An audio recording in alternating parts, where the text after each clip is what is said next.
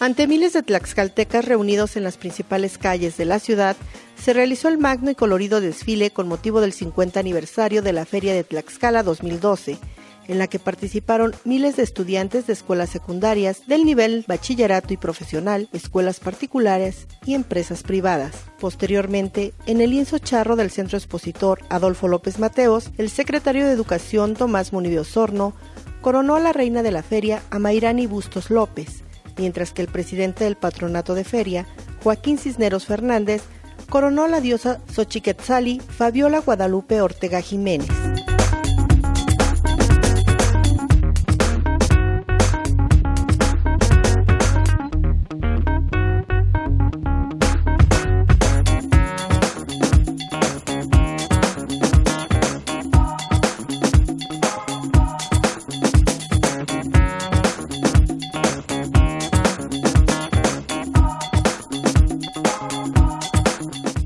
Durante la inauguración de la Gran Feria de Tlaxcala, el gobernador Mariano González Arur exhortó a la población en general a participar en las diferentes actividades artísticas y culturales. Disfrutemos estas semanas con nuestra familia, en alegría, en, en convivencia sana.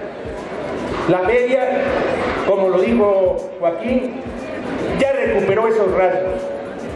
Son para bien del Estado para bien de nuestros hijos, para un mejor presente y para un mejor futuro. Felicidades y a disfrutar de Tlaxcala, que Tlaxcala es una feria. Gracias.